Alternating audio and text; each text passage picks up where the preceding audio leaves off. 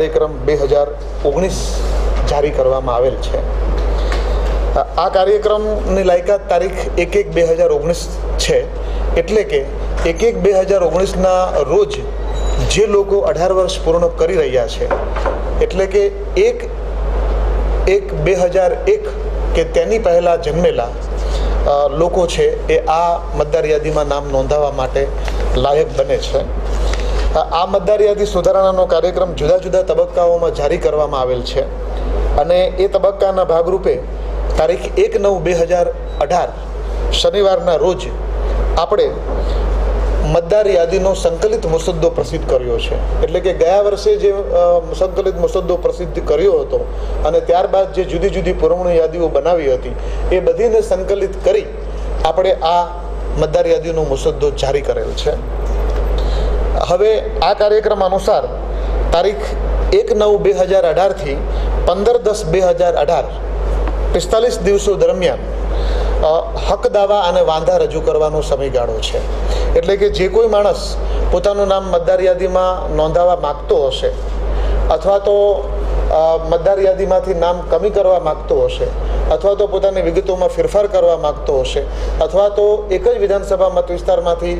અન્ય એક ભાગમાંથી બીજા ભાગમાં દાખલ થવા ઈચ્છતો હશે, એ અનુક્રમે ફોર્મ નંબર છ, ફોર્મ નંબર સાત, ફોર્મ નંબર આઠ અને ફોર્મ નંબર આઠ ક ભરી અને પોતાનું નામ રદ કરવાની કે નોંધાવવાની કે ફેરફાર કરવાની કાર્યવાહી હાથ ધરી શકશે. આ કાર્યક્રમ અનુસાર અ, ગ્રામ સભા અને વોર્ડ પણ બોલાવવાનું આયોજન કરવામાં આવેલ છે. અને સૂચના અનુસાર તારીખ દસ નવથી પંદર નવ અથવા તો તારીખ ચોવીસ નવથી ઓગણત્રીસ નવના સમયગાળા દરમિયાન પ્રત્યેક ગામમાં અને પ્રત્યેક શહેરની અંદર વોર્ડ અને ગ્રામ સભાઓ ભરવાની થાય છે. આ ગ્રામ સભાઓ સમક્ષ હાલની મતદાર યાદીનો મુસદ્દો જે છે એ રજૂ કરવામાં આવશે અને એ માં જો કોઈ નવા મતદારો ઉમેરવાના થતા હશે અથવા તો મતદારોના નામ કમી કરવાના થતા હશે, તો એની વોર્ડ અને ગ્રામ સભામાંથી માહિતી મેળવી, જરૂરી ફોર્મ્સ ભરાવી અને એ અન્વયે કાર્યવાહી કરવામાં આવશે. આ સમગ્ર કાર્યક્રમ દરમિયાન ત્રણ દિવસોએ સોળ નવ બે હજાર અઢાર ત્રીસ નવ બે હજાર અઢાર અને ચૌદ દસ બે હજાર અઢાર આ ત્રણ રવિવારના દિવસોએ દિવસોને ખાસ ઝુંબેશના દિવસો તરીકે નક્કી કરવામાં આવેલા છે. આ દિવસોએ પ્રત્યેક મતદાન મથકના મતદાન મથકના જે બુથ લેવલ ઓફિસર છે, એ મતદાન મથકના સ્થળે જરૂરી માત્રાની અંદર નિયત નમૂનાના ફોર્મ્સ લઈને ઉપલબ્ધ રહેશે. તેઓ ત્યાં ફોર્મ્સ ભરવા માટે આવનારા નાગરિકોને જરૂરી માર્ગદર્શન આપશે, તેમના ફોર્મ ભરાવશે અને તેમના ફોર્મ એ જ સ્થળે સ્વીકાર કરશે અને આગળની જરૂરી કાર્યવાહી માટે આપશે. આ ત્રણ દિવસો દરમિયાન ખાસ ઝુંબેશ હાથ ધરવાની છે. એની પહેલાં મતદાર જાગૃતિને લગતી પ્રવૃત્તિઓ પણ વિવિધ પ્રકારે બોટાદ ચૂંટણી જિલ્લાની અંદર હાથ ધરવામાં આવશે. આ કાર્યવાહી પૂર્ણ થાય એટલે કે પંદર દસ બે હજાર અઢાર સુધી જે ફોર્મ્સ ભરવાના છે, એ આખરી એ મુદ્દત પૂરી થાય, ત્યારબાદ એની ઈઆરઓ નેટની અંદર જે આપણા ઇલેક્શન કમિશન ઓફ ઇન્ડિયા દ્વારા જે ઈઆરઓ નેટ સોફ્ટવેર નક્કી કરવામાં આવેલું છે, એમાં દરેક આવેલા ફોર્મ અને એની સાથે જોડેલી બાબતો એ બધી વસ્તુઓને ડિજિટાઇઝ કરવામાં આવશે અને એ માટેની છેલ્લી તારીખ આ કાર્ય પૂર્ણ કરવાની ત્રીસ અગિયાર બે હજાર અઢાર નક્કી થયેલી છે. ત્યારબાદ ડેટાબેઝ અદ્યતન કરવામાં આવશે અને પુરવણી યાદીની પીડીએફ જનરેટ કરવામાં આવશે અને એને છાપકામ કરાવી તારીખ ચાર એક બે હજાર ઓગણીસના રોજ આ મતદાર યાદીનો જે સંકલિત મુસદ્દો પ્રસિદ્ધ કરવામાં આવ્યો છે, એની પ્રથમ પુરવણી યાદી જારી કરવામાં આવશે. છે. અને આ કાર્યક્રમ વિશે બોટાદ જિલ્લાના બંને વિધાનસભા ક્ષેત્રોના દરેક મતદારો અને ભાવિ મતદારોને સંબોધિત કર, મીડિયાના મારફત સંબોધિત કરવા માટે આ પત્રકાર પરિષદની આજે ગોઠવણ કરવામાં આવી છે. આપ સૌને ખબર છે કે ઇન્ક્લુસિવ ઇલેક્શન એટલે સમાવેશી ઇલેક્શન ચૂંટણી પંચના એક સૂત્ર છે અને આ ચૂંટ, આ સમાવેશી અને ઇન્ક્લુસિવ ચૂંટણીના અનુસંધાને એક ખાસ બાબત આ છે કે કોઈ પણ લાયકાત ધરાવતા મતદાર મતદાર મતાધિકારથી વંચિત ન રહે એના માટે આપની ચૂંટણી પંચ જિલ્લા ચૂંટણી અધિકારીની કચેરી મારફત પ્રયાસરત રહે છે અને આ પ્રક્રિયા હેઠળ મતદારી યાદીને સતત સુધારણાની કાર્યક્રમ સમય સમય પર કરવામાં આવે છે. આ જ કાર્યક્રમના ભાગરૂપે ફરીથી આ કાર્યક્રમ શરૂ થયું છે. દરેક અત્યાર સુધી એક એક ઓગણીસની સ્થિતિએ જે કોઈ લાયકાત ધરાવશે, આ લોકો આ અભિયાન દરમિયાન પોતાના મતદાર યાદીમાં નામ નોંધાવવા માટે ફોર્મની, ફોર્મ રજૂ કરી શકશે. એના સિવાય કોઈપણ વ્યક્તિ, કોઈ પણ મતદાર જે અત્યારે આપના એકસો છ